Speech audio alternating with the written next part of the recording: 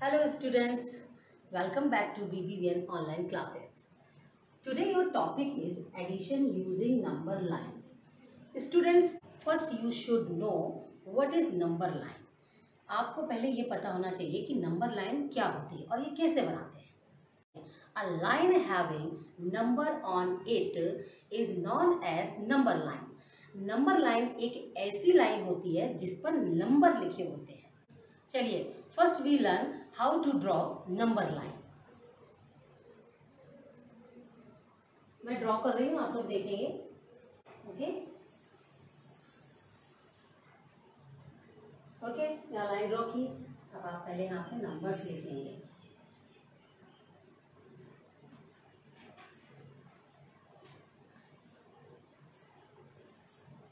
Okay अब यहाँ number लिखेंगे।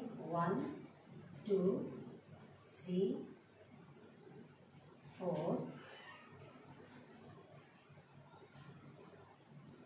five six seven eight nine ten okay okay students ऐसे बनाते हैं number line let's see some example two plus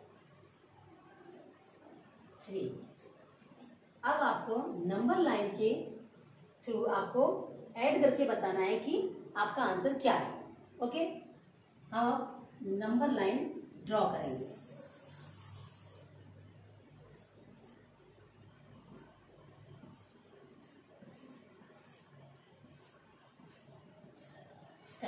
okay अब यहाँ नंबर लिखेंगे। One two three four five six seven eight nine ten okay अब आपको ये बता दूँ मैं कि टू ये आपका स्टार्टिंग पॉइंट है। ओके क्या है? स्टार्टिंग पॉइंट और ये थ्री आपका जो है, ये जंपिंग पॉइंट कितने टाइम आपको जंप करना है? थ्री आपको क्या बताता है? कि आपको कितने टाइम जंप करना है? ओके?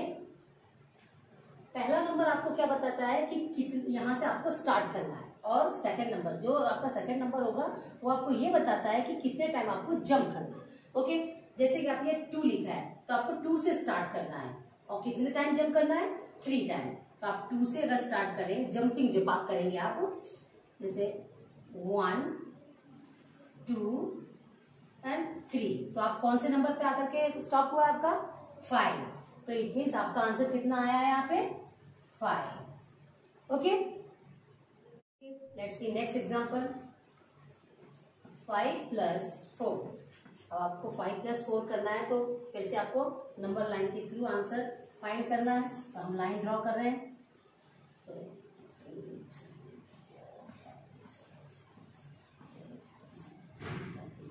आप नंबर लिखेंगे अब। One two three four five six seven eight nine ten अब आपका ये फाइव है ना?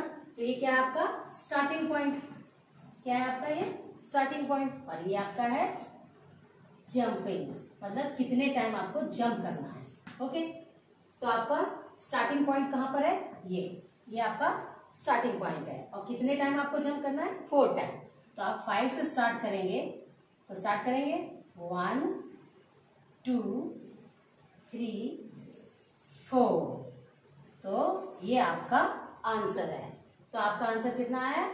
नाइन आपने फोर टाइम जंप किया तो आपका फोर टाइम जंप करने के बाद आंसर कितना आ रहा है? नाइन ओके आपको समझ में आ गया होगा? I think you understand okay आप लोग इसके थ्रू आप लोग प्रिपरेशन करेंगे घर पे। Okay thank you